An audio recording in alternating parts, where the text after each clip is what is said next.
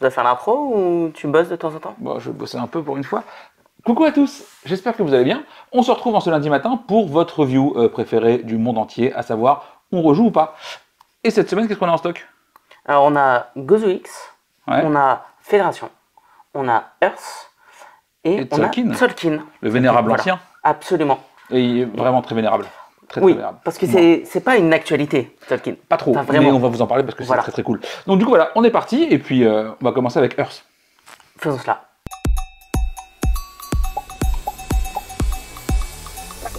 Ok, donc on est parti avec Earth. Earth, c'est un petit peu la sortie du moment. Elle commence à être livrée, le jeu commence à être livré chez les backers euh, en ce moment même, je crois. Et la VF arrive dans pas très longtemps chez les gens, Ouais. si je ne m'abuse.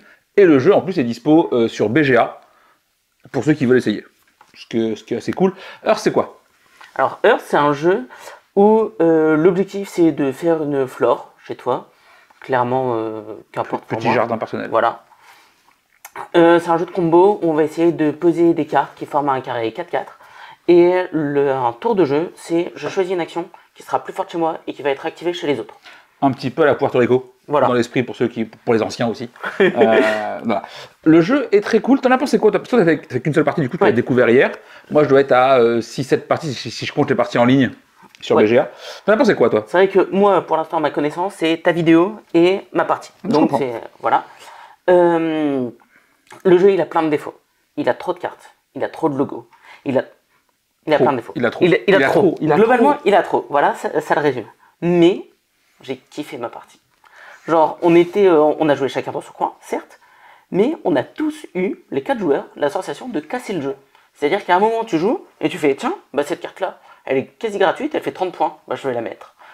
Et tu le fais plusieurs fois d'affilée en mode elle est trop forte cette carte, pourquoi ils l'ont pas vue? Mais toutes les cartes sont trop fortes. C'est ça, en fait, ouais, je pense qu'il y a vraiment un sentiment de satisfaction qui est assez fou. Ouais. C'est Pour le coup, je trouve que c'est un des rares jeux à combo, parce que pas mal de monde le compare à Wingspan. Ouais. Pour ce côté euh, flore, machin et tout, et euh, thématique très très zen. Euh, Wingspan, ton moteur à la fin, il ronronne un petit peu, tu vois. Genre, il marche, mais euh, Mais en fait, t'as un moteur rouné. c'est simple. Wingspan, ils se sont dit t'as des combos à un côté, mais tu vas enlever des actions. Voilà. Earth, ils se sont dit non, juste ton combo il est de plus en plus dégénéré. Voilà. C'est tout. Et ce moment où à la fin tu actives un truc, tu fais attendez pause, j'ai 12 trucs à faire, calmez-vous, tu vois. C'est qu'en fait, quelle que soit la partie et quelles que soient un petit peu les cartes que tu joues au final, tu vas arriver à un moment donné sur un moteur qui va marcher. C'est ça. Genre, euh, peu importe le problème dans quel sens tu le prends, Ouais, ça explose. À un moment donné, c'est ça. Et c'est quand même assez grisant. ouais. Et enfin, juste à la partie d'hier, il y a un joueur qui fait euh, genre tour 6. euh, non, là, euh, là je- mon, mon moteur il a arrêté et ça va mal se passer. Il a quand même éclaté le jeu à la fin. Voilà, c'est ça, parce que parce qu'effectivement, ça monte en Parce puissance. que ça fait quand même des trucs. Ouais, et ça ne peut aller que crescendo. Il n'y a aucun Ouais. moment où ça part dans le mauvais sens. Ouais, c'est ça. Donc voilà. Donc ça, c'est vraiment, vraiment marquant. Et je trouve que c'est. Parce que pareil, moi j'aime beaucoup Gizmo dans le jeu à, à combo. Mais pareil, Gizmo, tu peux te prendre les pieds dans le tapis un petit peu, avoir des combos qui marchent pas bien. Ouais, là non. Là, c'est- enfin, j'ai l'impression que ce n'est pas possible de pas avoir un combo qui, qui fonctionne à un moment Tu donné. fais quand même des trucs Ouais. et tu auras une couleur, une action où tu fais je fais trop de choses, c'est pas normal. Voilà, mais c'est, mais c'est quand même cool. Après, ouais, clairement, euh, trop de cartes. Moment donné, moi, je finis avec 27 cartes en main, euh, tu les traites plus les cartes. Ouais. Tu sais, t'es là, genre, Ah, ça, c'est- littéralement, à un moment donné, j'ai dit, je pioche un point de victoire. Euh, je ne, je- je- peu importe ce que fait la carte, je m'en fous. J'ai trop de données à traiter. Oui. Tu vois Et euh, pareil, ce côté, il y a ouais, 350 cartes uniques. C'est très cool. Les cartes sont uniques, peut-être, euh, sur le papier. En pratique, il y a quand même pas mal de cartes qui sont redondantes, qui Oui, ont des effets sim- Oui, Comme toujours sur des cartes uniques, en fait, tu vas pas réinventer une mécanique à chaque, à chaque carte. Ah, non, sinon non. tu t'appelles Magic. Tu. C'est ça, et t'existes depuis 30 ans, c'est un peu Voilà. compliqué tout ça. Mais ouais, donc voilà, donc effectivement, t'as plein de cartes uniques, mais t'as pas non plus tant d'effets différents que ça, ce qui fait que ça rend pas la prise en main non plus infernale. Oui, C'est un petit peu la peur quand, on dit genre ouais, euh, t'as genre euh, trop de cartes. faut juste se dire dès le départ, je vais faire un filtre, comme ça je ne traite que la moitié des cartes. Ouais, tu peux pas sinon. Voilà, sinon tu t'en sors pas. Une fois que tu as fait ce filtre-là, les cartes se lisent bien et se font bien. Voilà. Euh, Est-ce que tu veux y rejouer? Ouais, ouais, je veux bien me tester parce que c'est. euh, Enfin, il est satisfaisant. Juste satisfaisant. Et sur Donc, un euh, 5 parce que c'est le 4 concept- Ah oui, oui, c'est vrai, c'est vrai. c'est le concept de la chaîne. truc-là. Euh, 4, ouais, très bien. Ok. Euh, à titre perso, je pense que si euh, c'est mon envie de jouer au jeu, je pense que je suis sur un 3 parce que le jeu marche bien. Je vais dire oui à une partie. Mais je pense que je vais être sur un 4 parce que je veux comprendre euh, pourquoi avec autant de défauts, ça marche quand même. Je Il y comprends. a ce ouais. côté genre, J'ai envie de le décortiquer Ouais, et, et comprendre. savoir euh, ce qui se passe. Parce qu'en vrai, je me dis, si jamais je dois faire un jeu comme ça, il y a trop de trucs que j'enlève. Ah ouais, Il y a- il y a- je je cut dans tous les sens. Et je sais pas. Et je me dis, ça doit pas marcher. ouais. Et, Et ça pourtant- marche quand même. Et pourtant, Et je veux comprendre. Voilà, je veux comprendre pourquoi ça fonctionne. Donc voilà, donc voilà, donc Earth, on est entre, on est sur un euh, vrai 3 ou un faux 4. Je sais pas trop comment le, le notifier, mais voilà. Donc en tout cas, c'est très cool. Sur BGA, vous pouvez le tester. euh, en plus, donc si vous voulez faire un petit peu un avis. En plus, je trouve que sur BGA, le jeu se prête vraiment à ça.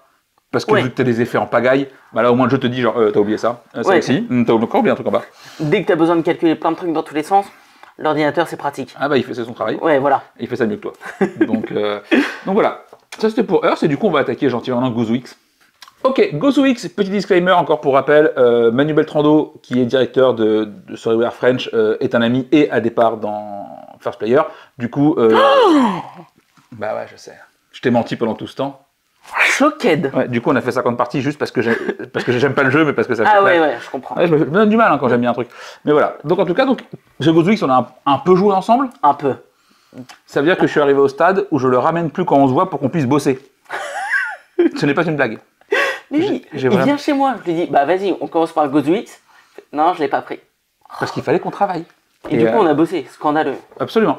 Donc voilà, t'en penses quoi de GozoX, toi? Mais il est trop bien. C'est, enfin, il y a besoin de dire plus que ça? Ah d'accord, Mm. ok. Donc, euh, GoZoX, c'est un jeu de, de construction et d'affrontement 1v1. Bon, jusque-là, euh, tout va bien. Une énorme innovation qui est trop trop bien, c'est que dans le draft, tu prends des races qui te correspondent et avec lesquelles tu veux faire un combo, ça soit, ça c'est normal, mais les races qui ne sont prises par aucun des deux joueurs vont impacter et identifier la partie. Ce qui fait que dans le draft, tu dois prendre ça en compte, qu'après, tu vas te raconter une histoire en fonction des effets qui ont tout changé, qu'il y a des combos qui fonctionnent, mais qui ne fonctionnent pas selon certaines cartes, enfin selon ce qui reste. Juste, c'est trop bien. Et en plus de ça, donc ça c'est le, le- twist initial, et en plus de ça, ce que je trouve super cool dans Gozo, c'est que tu as envie de prendre les cartes pour faire des combos, puis tu te rends compte que l'autre fait un combo qui est super cool, et en rejoignant, tu vas te rendre compte qu'il y a deux cartes qui interagissent différemment, et tu auras envie de jouer avec, et tu as envie de retester d'autres choses, et en fait, vraiment toutes les synergies, tu as envie de découvrir, tu as envie de les faire, et donc sur un format un peu quand même très technique, tu as, énormément de possibilités et de- et d'enjeux. Donc je trouve que faire tout ça en une boîte, c'est propre. Voilà. Et toi, euh, non Je Ok. Ouais, je... ne m'exprime pas sur. Ok, je, je te- je laisse faire. Euh, si, il y a un truc quand même à savoir quand même sur GozoX, c'est que quand vous jouez, il, vous faut la fac sous les, sous les yeux. Parce que tu as quand même pas mal d'effets, parfois un peu techniques, où tu te dis genre, Ouais. comment ça marche? Voilà. Est-ce que c'est normal? Est-ce que Ouais. et globalement c'est heure ça se logique déclenche? Mais Mais tu veux pas de des Ouais, en fait, c'est un jeu qui est assez technique pour pas te dire, euh, je pense que c'est comme ça. Tu sais, tu veux que ce soit tranché et qu'il n'y ait pas d'embrouille. Voilà, c'est le seul truc un petit peu. Voilà, donc euh, n'hésitez pas à aller sur le Discord de Survivor French pour récupérer la fac euh, ou sur leur site, je crois. C'est dispo et voilà. Mais GozoX du coup à un 5, ah oui, oui 5. Hum, c'est ça le chiffre Il n'y a crois. pas de, il y a pas de débat. Très bien. Et vu que c'est moi qui joue, ben, du coup 5 aussi, quoi, euh, fatalement. Ouais, donc GozoX, vraiment, j'évite d'en parler, hein, parce qu'on va dire après que je, je suis vendu aux capitalistes et que j'ai acheté Hachette. Euh, en vrai, ce serait cool, vraiment. Je, je planche sur le projet, mais c'est c'est un peu hors budget. Ouais, ce serait pas mal. Ah, si on Moi, peut acheter Hachette, bien. on est Ouais. pour, hein, on est très très pour, mais euh, c'est compliqué. C'est compliqué. Et euh, je vous propose de parler un petit peu de Tzolk'in. Alors, Tzolk'in, clairement, on l'a dit tout à l'heure dans l'intro, on n'est pas dans l'actu du tout parce qu'il n'y a rien. Il n'y a pas d'extension qui sort actuellement. Non. Il y a- voilà. Non, rien. Tzolk'in a maintenant 12 ans. Je crois que c'est de 11 ans, 2012, je crois. Euh, Aucune et idée. c'est quand même. Euh, soyons- Attends, attends, attends, attends. 12 ans, 2012 On est 2011, en quelle année 2011, j'ai dit. Ah, Je crois que t'as dit 2012. J'ai commencé par ça, puis j'ai corrigé. Ah ok. Euh, et quand même, globalement, c'est putain de bien. Ouais. Ouais, le- C'est incroyable. Tzolk'in, c'est juste incroyable. la, la roue est trop bien, le mécanisme est logique, et j'ai l'impression que c'est un- l'un des rares jeux experts où tu as une mécanique centrale et tout qui la met en avant. Et d'habitude, on a ça sur des jeux plus simples, alors que les jeux experts, tu as plus différentes mécaniques qui sont mises ensemble, et Mhm. là, tu as une mécanique qui est top, et il y a tout qui la met en avant. Je trouve ça... euh, Ouais, et Très, puis, très et puis moi, je trouve que pour un jeu qui, qui a, donc, a plus de 10 ans, Ouais. j'ai évité les calculs vu, euh, le jeu reste excessivement actuel. C'est-à-dire que Tzolk'in, ça sortirait aujourd'hui, Ouais, tu dirais genre, ok. ouais, clairement, ça, fonctionne toujours. Et ça, c'est fou. Oui. Parce qu'en vrai, t'as pas mal de jeux qui vieillissent assez mal, ou quand tu rejoues 10 ans après, tu fais, euh, Ouais. ouais, On a grandi depuis. c'était bien avant, tu vois. Tzolk'in, t'es là, genre, ouais, le jeu est quand même vraiment très très bien. euh. Ouais. Et puis l'extension, en plus, ça change trop de trucs, mais toi, tu n'as pas joué avec l'extension Non, j'ai jamais joué pareil, l'extension. elle est incroyable. Et en plus, elle permet un petit peu de sortir, parce que tu as beaucoup de gens qui vont dire oui, Tolkien, ça a été résolu, machin. Euh, oui, oui, le jeu est résolu. Est-ce que c'est grave? Non. Ah, mon cerveau, il l'a pas encore résolu. Hein. Voilà. Donc, euh, l'intelligence collective a résolu le jeu, parce qu'il y a eu des milliers de parties sur Internet que les gens ont théorie crafté le jeu. Généralement, quand un jeu est théorie crafté, c'est quand même il est plutôt solide. Hein. Plutôt. Tu théorie craftes pas euh, des mauvais jeux, parce que t'as pas que ça à foutre. Par exemple, Anabi a été théorie crafté et fait, donc c'est un excellent jeu. Voilà. Moins bien que moi ça, mais soit, peu importe. Euh, on en reparlera un autre jour. Euh, voilà, donc ça. Et effectivement, le jeu est solutionné parce que beaucoup de monde, et beaucoup de monde plutôt brillant, s'est penché dessus. Ce qui veut dire que dans la vie d'un joueur normal qui va en faire une dizaine chez lui, ça Ah. n'arrive pas. Tu, tu- tu ne peux pas. Donc, vraiment, ce côté de oui, j'y joue pas parce que le jeu a été résolu, les gars, allez-y, franchement, enfin, faites-vous un kiff. Et en plus, l'extension corrige tout ça. En, en- en plus, si vraiment il y avait besoin. Mais même sans ça, en, fais tes premières parties, découvre, fais 12 points à la première parce que le jeu était trop dur. Euh, parce que c'est ce qui se passe en vrai. Ouais. La première, t'es là, tu perds des larmes de sang. Franchement, à chaque fois que je présente le jeu, les gens me font, mais jamais. Ah, c'est ça. Je suis trop perdu. Voilà. Fin, Trop de fin du- paramètres. fin du premier, euh, Ouais. premier festin, t'es là, t'as combien? Bah, Je suis à moins 12 et toi? Ah, moins 15. Ah, c'est beaucoup quand même. Comment je vais faire? Bah, t'inquiète. Voilà. Et effectivement, moi, ce que je trouve incroyable, c'est que Tolkien, à ton tour, t'as un choix entre deux options où tu poses tes pions ou Ouais. tu reprends tes pions. C'est-à-dire que, littéralement, la règle, Ah, c'est ça. Oui. Alors, ce que tu vas faire en retirant tes pions, c'est différent. Mais je trouve ça tellement malin. Genre- Ouais. Je pense que c'est un des jeux que j'aurais rêvé inventer. Tu te dis, genre. euh, Ah, j'aurais jamais réussi. Alors, non. mais j'aurais Ah adoré oui, y penser. Oui, Tu vois. Tu te dis, ça, ça c'est quand, même- c'est quand même vraiment malin, vraiment brillant. Ouais, clairement. Et, euh, et ouais, donc ça, moi, je trouve ça fou. Et c'est un jeu, moi, je joue, tu sais, par période. Souvent, j'oublie que c'est très bien. Mm. Et je joue à autre chose. Et puis un jour, on se fait, ouais, vas-y, on se fait un Tolkien. Tu le sors et puis tu fais genre. ah, c'est quand, même vraiment- c'est quand même vraiment de la balle. Et moi, je pense que c'est un, un 5 périodique. C'est-à-dire que là, depuis qu'on y a joué, parce qu'en fait, on en a fait deux. On en a fait deux quand on s'est vu cette semaine.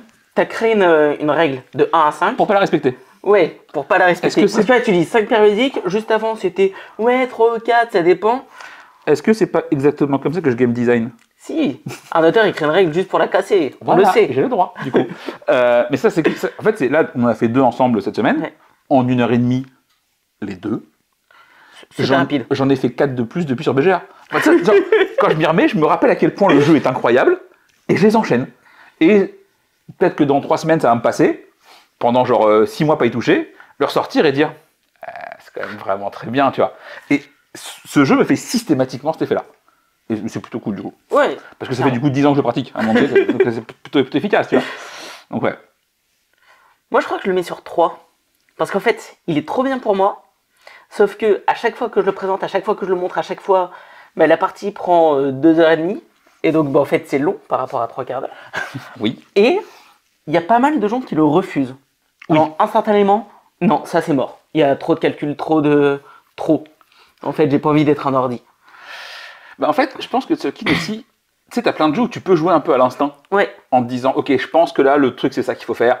ouais. Tolkien, il faut apprendre.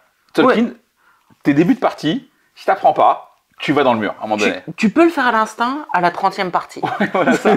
Avant ça, t'as une phase, malgré tout, où Ouais. il va falloir un petit peu te dire, ok, euh, je vais.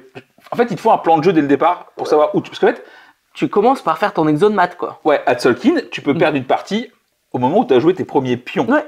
Et, euh, et c'est fou, tu vois. Moi, je considère en plus qu'un jeu que tu peux pas perdre sur un coup mérite pas d'être joué. Tu sais, genre, frère, c'est genre, c'est euh, ce côté où l'erreur, elle, elle fait mal et tu le sais.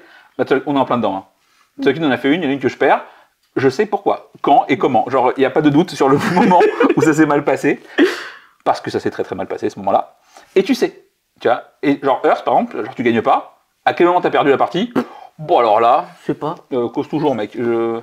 Peut-être un petit peu là, mais tu peux pas identifier ce moment. Tolkien, tu te dis, c'est là, je sais, je mets le doigt dessus, euh, je sais quand j'ai fait de la merde. Oui. Et ça, c'est cool. Moi, je trouve ça vraiment appréciable. D'autres joueurs vont te dire, bah, du coup, c'est punitif. Ça, c'est vraiment. euh, D'où À la- le 3. Ouais, après, c'est donc chacun. Ouais, ouais. Mais là, clairement, voilà, on gîte dans une semaine. Bon, Ah, il va tourner. il va- voilà, en partie nocturne. euh, ouais, on le sait, on connaît l'ambiance. En plus, on a deux, trois autres fans de Tolkien qui sont sur place. Ok, Ça va bien se passer. ça va jouer. Voilà, donc Tolkien, si vous ne connaissez pas, allez-y.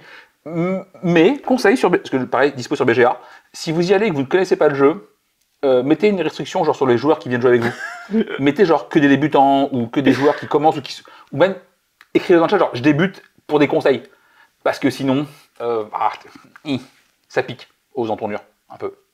Ok. Et du coup, on va finir cette chronique avec Fédération. Fédération, moi j'y ai beaucoup, beaucoup joué, parce que Mathieu et Dimitri sont des amis, et du coup j'ai fait le pro- j'ai vu le proto tourner, j'ai fait tourner le proto avant qu'il soit dispo. Et euh, toi, du coup, tu l'as découvert il n'y a pas très longtemps. Ouais, je l'ai découvert au Festival de Cannes, où j'y Très suis. longtemps. Voilà, c'était pas. Euh, donc lever 9h, c'était dur, mais au moins on a une table. Avec, euh, avec mes colocs, on a fait deux, deux parties, enfin deux tours plutôt, Ok. parce que deux parties ça fait très très long. Oui, surtout à Cannes. oui, voilà, c'est ça. Donc là plutôt deux tours. Et ma coloc l'a acheté instant.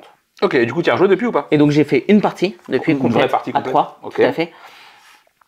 Et euh, j'ai eu un retour mitigé, enfin un avis mitigé dessus, parce que c'est un jeu complexe, expert, où tu crées pas de moteur.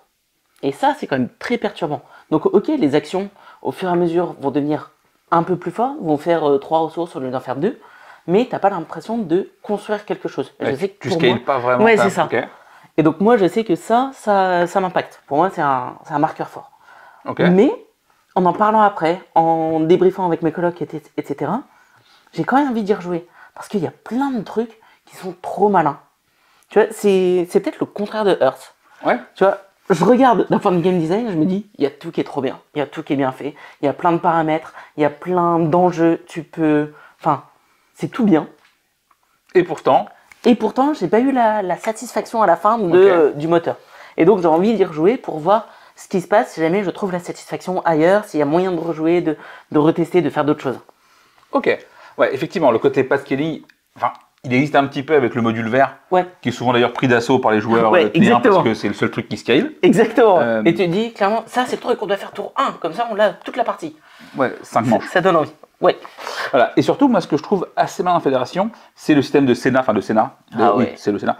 Euh, en gros, vous avez donc deux grilles et vous allez devoir voter euh, les lois qui vont donner un scoring. Et en fait, il y a vraiment ce côté alliance mouvante qui se crée sans vraiment communiquer. Genre, on va pas laisser bleu passer. Genre, euh, il est tout seul sur bleu, il va faire 16 points, on fait tous deux, bien on vote vert. Tu vois Ouais.